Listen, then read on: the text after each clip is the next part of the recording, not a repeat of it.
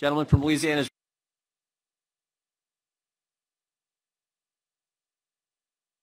recognized for five minutes.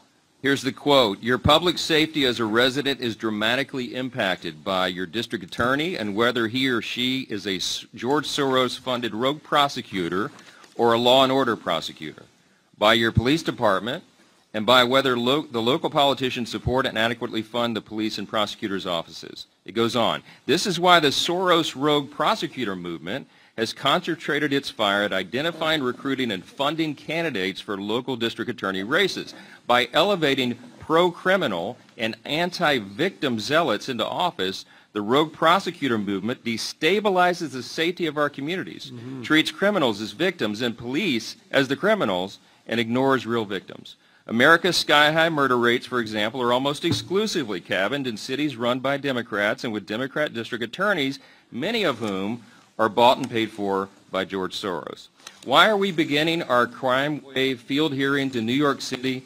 Because this is one of the most egregious examples in America. Alvin Bragg is the poster child for exactly what was just described.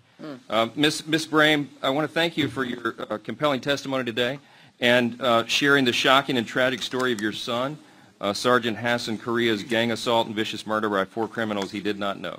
In your written uh, statement submitted today, you wrote this. You said, quote, D.A. Bragg has demonstrated over and over again that he has no regard or concern for human life or victims of crime by instituting his ADAs to not prosecute violent recidivists and ultimately release them back to the streets to victimize and terrorize more innocent New Yorkers, unquote.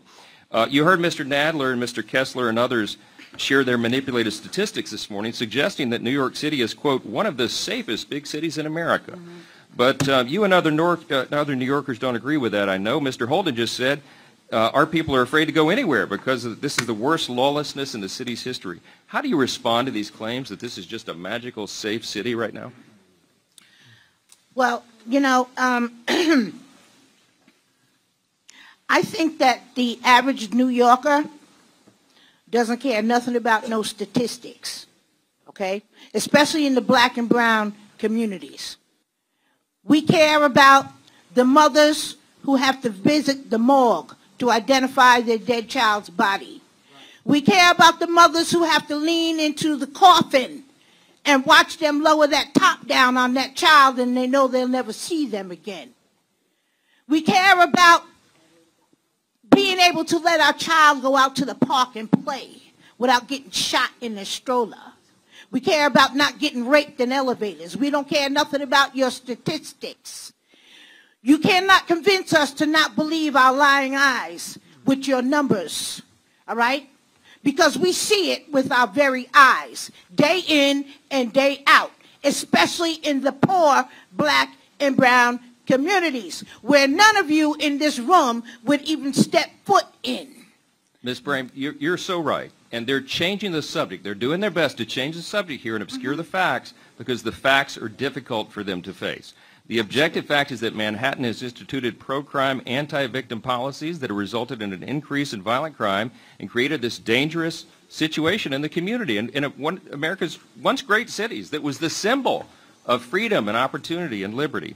According to the NYPD data, New York City saw a 23% surge in major crimes in one year since Alvin Bragg took over. That is the fact. We have a violent crime epidemic here, and everybody in America knows it because we see the videos played out on our television, local mm-hmm. news, every single night of what's going on here in the city. I just want to say this, and I, I'm almost out of time, but I, I've shared in this committee before the long list of statements from leading Democrats in Congress and the leading Democrats on this very committee who specifically and aggressively called for the defunding of the, of the police. And as a result, in 2020 in New York City, officials cut $1 billion from the police department's 2021 budget.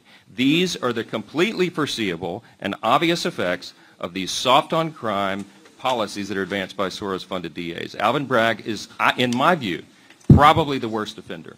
And they're trying to manipulate the facts, they're trying to change it, but I thank you all for being here. I yield the remainder of my time. Committee will be in order. The gentleman yields.